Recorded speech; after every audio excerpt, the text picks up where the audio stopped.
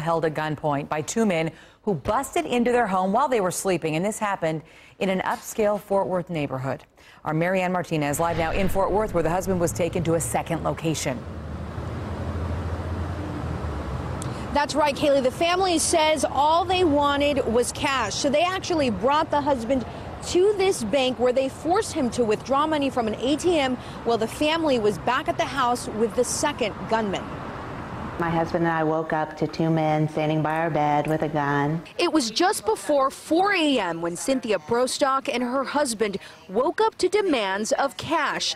The gunmen ransacked their house in an upscale neighborhood near TCU. Prostock's daughter slept through the whole thing.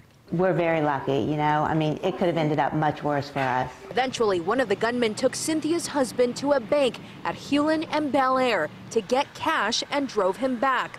The whole ordeal lasted about a half hour. No one was hurt. Police say the Prostech's back door was unlocked and their alarm disabled, making their house an easy target.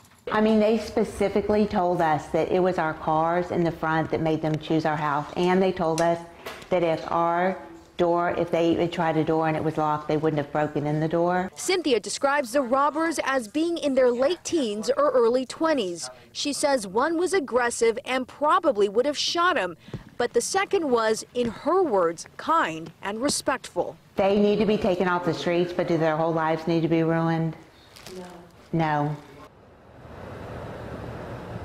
Now, they made off with about $4,000 in cash and a little bit of jewelry. They are still on the run, and police say they will patrol that area uh, a little extra in the next coming days. Hopefully, somebody will be caught. Reporting live in Fort Worth, Marianne Martinez, CBS 11 News.